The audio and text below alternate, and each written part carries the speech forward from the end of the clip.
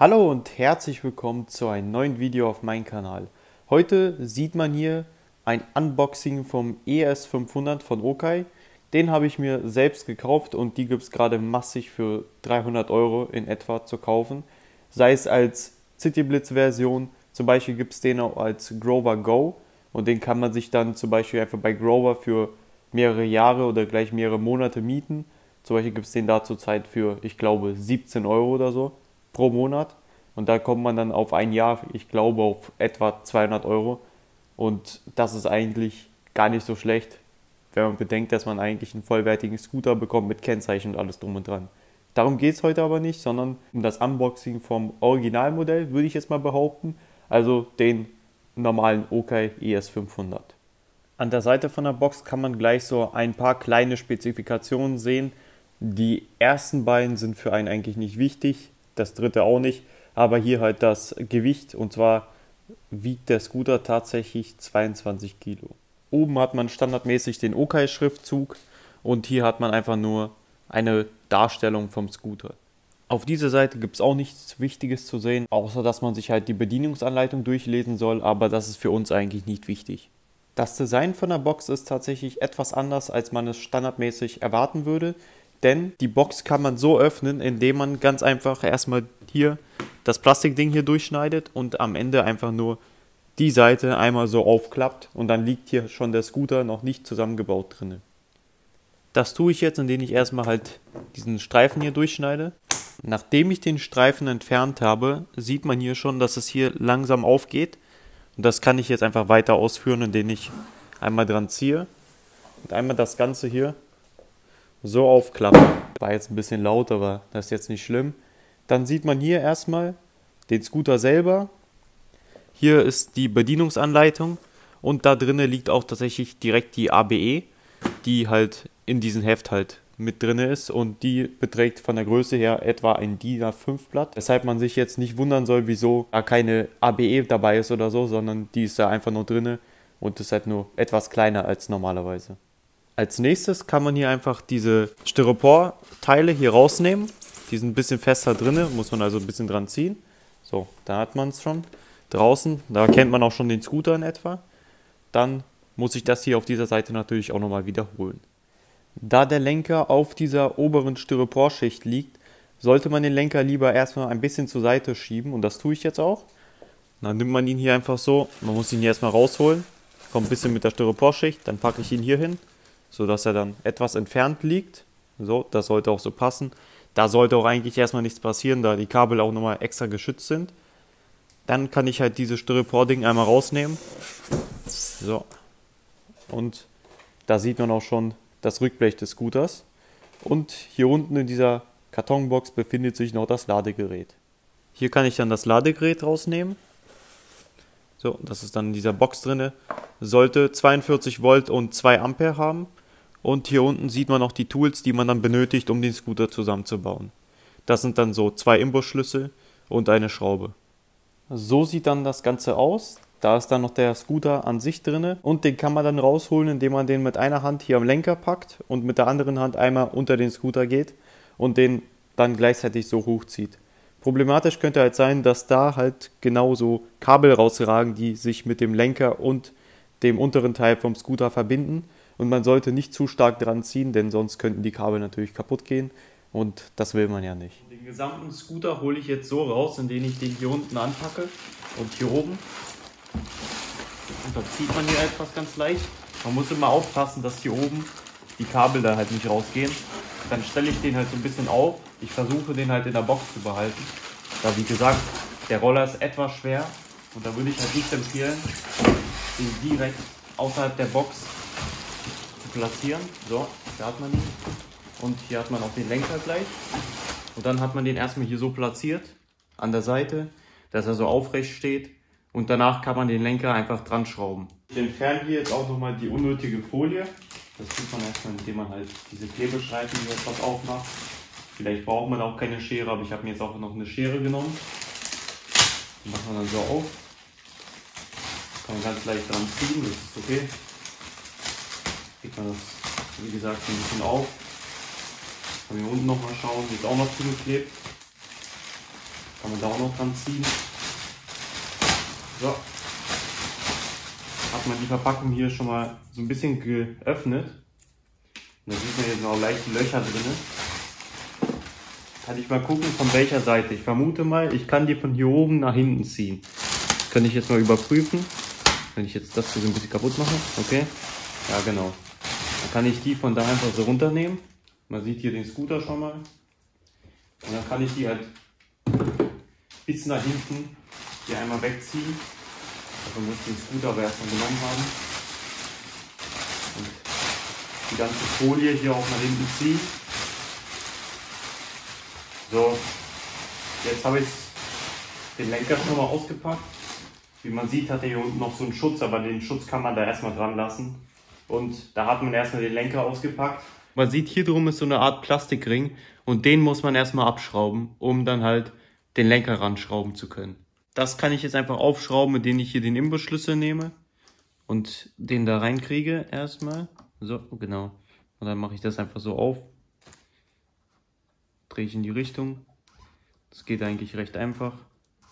Muss man halt die Schraube nur abkriegen.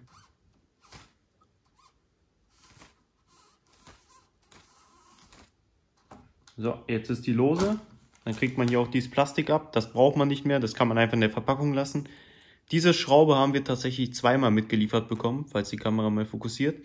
Das bedeutet, die kann man tatsächlich auch hier lassen. Aber man kann die halt natürlich auch wieder benutzen. Das ist jedem selbst überlassen. Als nächstes holt man sich den dickeren Imbusschlüssel, denn den wird man gleich brauchen, um da die Schrauben ranzuschrauben.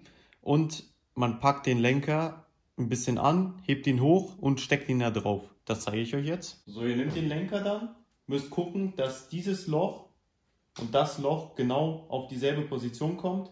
Dann könnt ihr einfach die Kabel so versuchen, da so ein bisschen reinzu, reinzustecken. Das ist aber nicht so schlimm. Hauptsache, der Lenker passt da drauf. Dann nimmt man, schiebt den drauf. So, jetzt habe ich das tatsächlich schon getan. Und Hauptsache, das Loch ist genau gleich mit dem Loch drinne.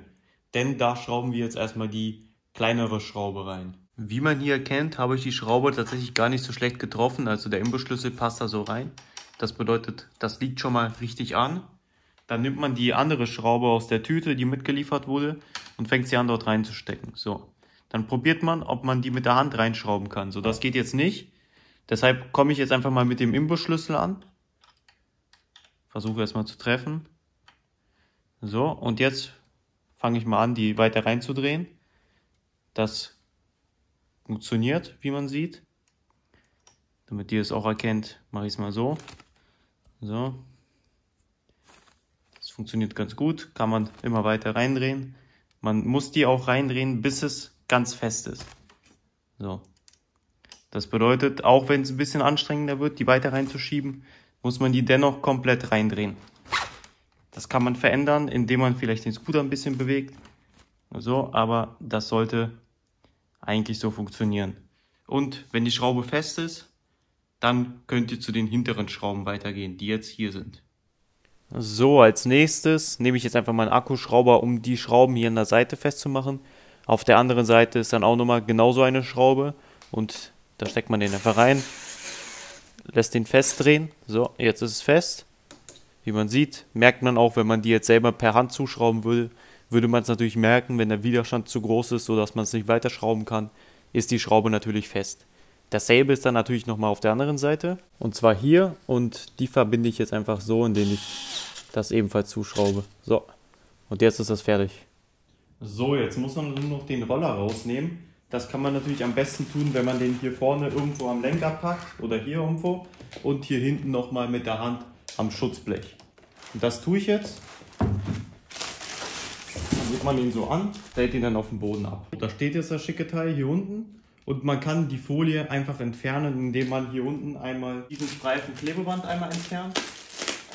Das kann man mit der einfach so tun.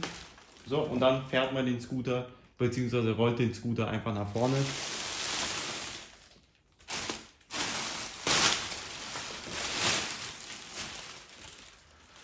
So. Und jetzt ist er schon aus seiner Verpackung raus und ist halt so, wie er sein sollte. Jetzt haben wir hier den Roller, hier das Display. Das ist noch in so einer Luftpolsterfolie bedeckt. Das kann man ganz einfach abmachen. Hat man es hier, ich versuche es mal anzumachen. Vermutlich wird es nicht angehen, da der Akku höchstwahrscheinlich entladen sein wird. Aber ja, wie man sieht, passiert da nichts. Kann ja mal die Folie abmachen. Aber da passiert natürlich nichts, da der Akku höchstwahrscheinlich nach dieser Lagerzeit komplett entladen ist. Und deswegen muss ich den gleich erstmal in die Steckdose packen. Ansonsten hat man hier die Bremse, den Grasgriff, das kennt man schon, den Scooter natürlich selber einmal. Da unten befindet sich auch der Ladeanschluss, das zeige ich euch aber gleich nochmal. Und insofern ist der Scooter eigentlich schon ausgepackt und man kann mehr oder weniger loslegen. So sieht dann die ganze Geschichte ausgepackt aus. Hier oben ist das Display. Wie man sieht, hier links ist die Bremse, die Klingel, die kennt man auch von den Tierverleihscootern, auch vom Okai Neon. Ist halt genau dasselbe Modell. Dann haben wir hier den Gashebel, der ist bekannt von den Tierverleihscootern. Ist ein bisschen schade, dass hier so ein Ding runterhängt, aber kann man wahrscheinlich nicht vermeiden. Hier ist es genauso, nochmal für die Bremse. Denn das Bremssystem ist vorne elektromagnetisch und hinten eine Trommelbremse. Dann haben wir natürlich den unteren Part des Scooters. Der sieht dann so aus, da haben wir halt Reflektoren dran, vorne Motor, hinten einfach Rad.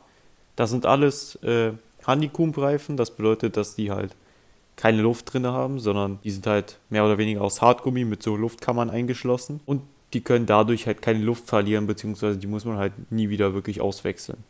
Jetzt kann man mal einmal so um den Scooter herumgehen. Da sehen wir hier hinten nochmal das Rücklicht mit drei LEDs tatsächlich verbaut und dem Kennzeichenhalter und dann von der Seite auch nochmal haben wir hier auch was Interessantes und zwar den Doppelständer, denn das ist ein ähnliches Modell ebenfalls bei den Leihscootern, denn da kippt man den Ständer einfach so nach unten auf und dann steht der Roller recht sicher und dann kann man den auch nicht wirklich umkippen. Das Netzteil dabei ist aber genau dasselbe wie beim Okai Neon und da gibt es eigentlich keine Unterschiede. 42 Volt und 2 Ampere.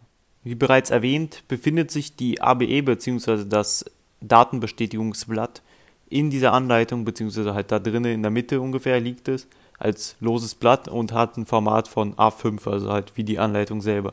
Damit geht man dann zur Versicherung und holt sich das Kennzeichen. So, ich denke, jetzt sollte der Scooter aber auch ein bisschen geladen sein, sodass man auch mal das Display anschalten kann. Und das tue ich jetzt einfach, indem ich den Knopf hier drücke. Ja, da erkennt man schon, Modus wird hier angezeigt mit H, also High, hoch.